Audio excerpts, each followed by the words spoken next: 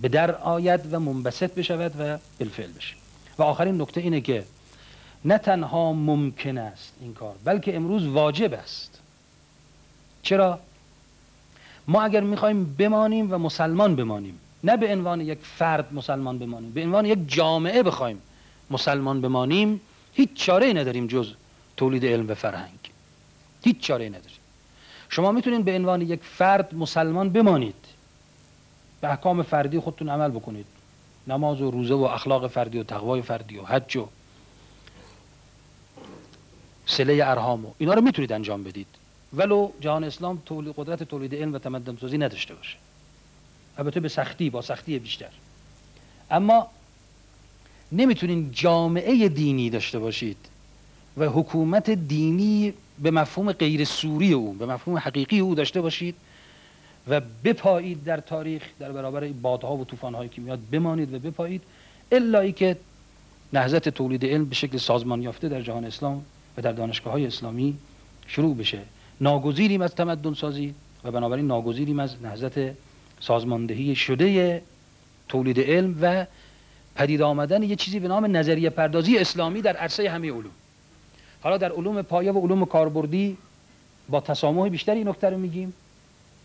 اما در علوم انسانی و اجتماعی به خصوص در علم الاجتماع و در همه شقوق علوم انسانی و علوم عقلی این مسئله بدون هیچ مجازگویی ضرورت داره. مطمئن باشید ما اگر چیزی به نام علوم انسانی و اجتماعی و علوم رفتارشناسی انسان و تنظیم مناسبات اجتماعی غیر مبتنی بر این نهضت تولید علم داشته باشیم یعنی به همین حالت ترجمه و تقلیدی که دوچارش هستیم همچنان ادامه بدیم. چیزی به نام جامعه دینی و تمدن دینی نخواهیم داشت. الا به طرز سوری در یک حالت اضطراری همیشه تعلیقی. در باب رابطه علم با اسلام از چشماندازهای مختلفی وارد این بحث بسیار مهم و بحث مقفول شدن و میشه شد. میشه از حوزه بحث کلامی وارد شد بحث علم و دین تعریفشون نوع ارتباطشون. مباحثی که در جهان اسلام و در جهان غرب راجع به رابطه علم و دین شده. میشه از چشمانداز فلسفه علم وارد این مسئله شد و بنیادهای متافیزیک علم رو نقطه شروع بحث قرار داد. میشه از منظر فرهنگ شناسی و تمدن شناسی و نحوه تأثیر و تأثیر فرهنگ ها و تمدن های مختلف با هم جنگ ها و صلح هاشون با هم بدبستان هاشون گفت هاشون وارد این بحث شد. ولی اونی که من می‌خوام الان بهش اشاره کنم تو این نوبت اینه که ما یه چیزی به نام تاریخ علوم تاریخ مدون علوم کم داریم تو جهان اسلام. غرب یکی از مزایای بسیار مهمش به نظر من اینه که هر کاری که کرده در دو سه قرن اخیر در باب علوم فوری به ثبت داده.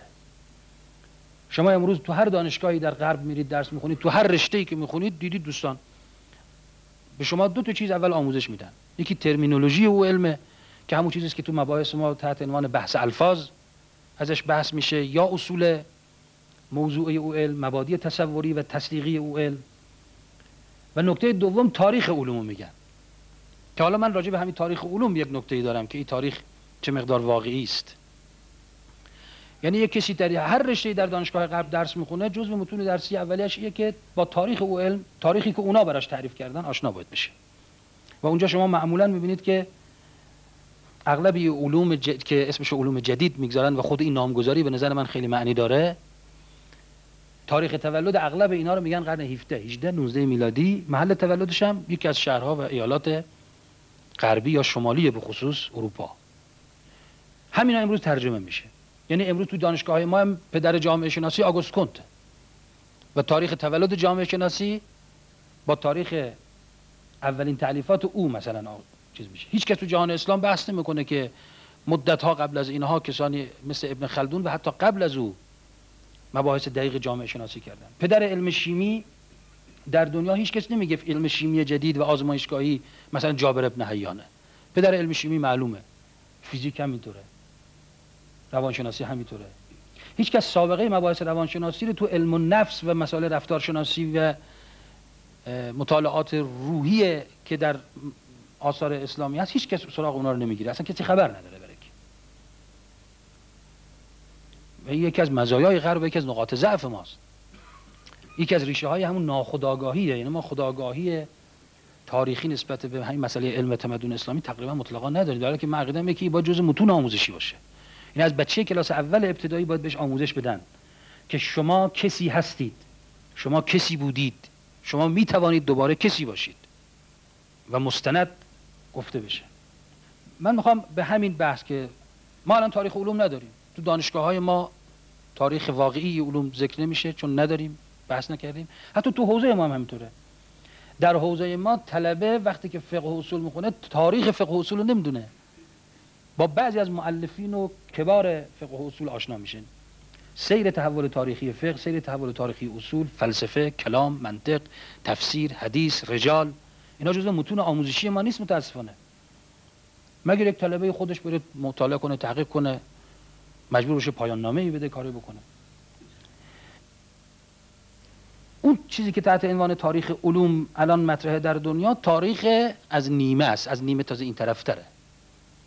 و بقیهش رو قیچی کردن قبلش رو نخواندند مبدع اکثری علوم رو از قرن 17 تا 19 میلادی خواندن قبلش قیچی شده و بندناف این علوم با ما تقدمش که بخش مهمیش متعلق به جهان اسلام بوده بریده شده اصلا. اونه که من می‌خوام بهش یه مقداری توی جلسه اشاره بکنیم و عقیدم اینه که دانشگاه ما باید به قضیه بپردازن دوباره. از جاهای سریحتر و مؤثرتر ارتباط علوم جدید با جهان اسلامه که کمتر پیچیده است و جزء مقدمات بعیده این بحث هم نیست و اونی که واقعا این علوم بشری جدید اینایی که اسمش همه جا به عنوان علوم جدید مطرحه. که عرض کردم این نامگذاری به نظر من خودش معنی داره. یعنی خودش برای بخشی از جزئی از پروژه تحریف تاریخ علمه. انگار اصلا علوم تا قبل از قرن 17 و 18 میلادی در دنیا وجود نداشتن. شروعش اینجاست. به چه معنای علوم جدیدن؟ یک بار از کشفیات جدید و تحولات جدید در علوم بحث می‌کنید. یک بار جدید صفت خود علمه. داریم میگه اصلا متد جدیدی کشف شده. انسان رو ما اصلا جدیدن کشف کردیم. طبیعت تازه کشف شده. فرق بین پذیرش سیر پیشرفت علوم و کشفیات جدید و اختراعات جدید در علوم تا اینکه شما از اساس علمی رو جدید بدانید. این خودش یه مقالطه بزرگه در تاریخ علم تمدن در دنیا. این علوم بشری جدید که بنیاد ساختمان مدرنیته و تمدن معاصر خوانده شده باید ما فکر کنیم چقدر نقاط مثبت و قوتش مدیون جهان اسلامه. و چرا در این مورد سکوت میشه؟ و این توطعه سکوت باید گفت. این توطعه سکوت چرا و تا چه وقت؟ وارد بحث کلامی رابطه علم و دین نمی‌خوایم بشه می‌خوام توجه به همین بحث تاریخی عطف و جلب بشه و عرض کنیم که علوم جدید علوم پایه علوم تجربی و ریاضی علوم مدنی و اجتماعی حتی و انسان شناسی هیچ کدوم این علوم بچه سر راهی نبودن. این علوم هیچ کدوم خلق الساعه نیستن. این علوم تاریخ تولدشون قرن 17 18 و 19 میلادی و محل تولدشون اروپای غربی و شمالی نیست. و نبوده. بخش مهم و اصلی تاریخ این علوم باید گفت به سرقت رفته. بخش های مهمی از تاریخ این علوم پاک شده.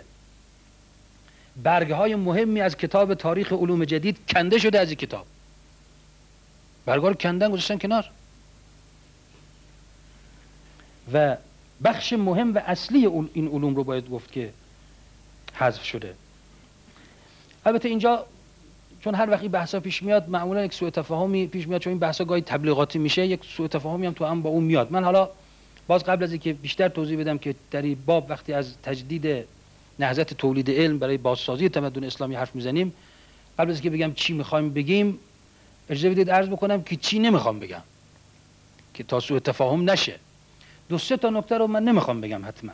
یکی اینکه نمی‌خوام بگم در غرب و در دنیای معاصر خبری نیست. اینو نمی‌خوام بگم. هرچند بگم خبری نیست در و دیوار گواهی دهد که خبری هست. دومی که نمی‌خوام بگیم که این تمدن فعلی در هیچ بخشش غرب نقشی نداشته. هرچی بوده مال ما بوده. اینا مال ما رو خورده حق ما رو خوردن. اینم نمی‌خوایم بگیم نمی‌خوایم بگیم اونا بدن ما خوبیم. نمی‌خوایم بگیم علوم جدید رشد علوم جدید و تکنولوژی و صنایع و قدرت تمدن سازی و تولید فکر و تولید علم در سه دو سه قرن اخیر به خصوص در هفتاد هشتاد سال اخیر. اینا نادیده